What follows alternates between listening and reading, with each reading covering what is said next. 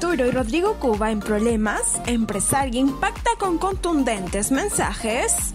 El conocido futbolista Rodrigo Cuba sorprendió a sus seguidores al evidenciar que se reencontró con su ex esposa Melissa Paredes en un evento escolar de su menor.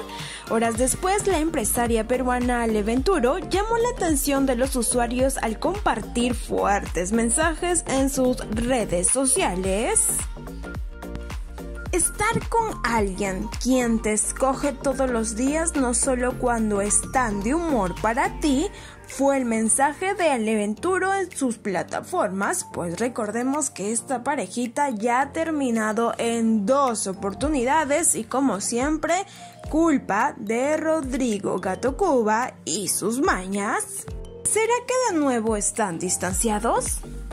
Gato Cuba revela la extraña lista de regalos de su hija por Navidad.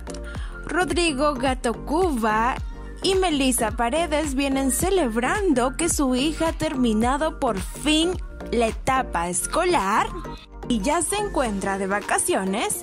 Ante esto, Rodrigo Cuba evidenció la extraña lista de regalos de su hija por Navidad, pues ella le suplicó al futbolista que quiere un cuy y también un conejo y hasta un pez. Bueno, acá andamos buscando unos cuantos regalitos de Navidad que me ha pedido en la carta Papá Noel que hicimos la semana pasada en un evento en el colegio.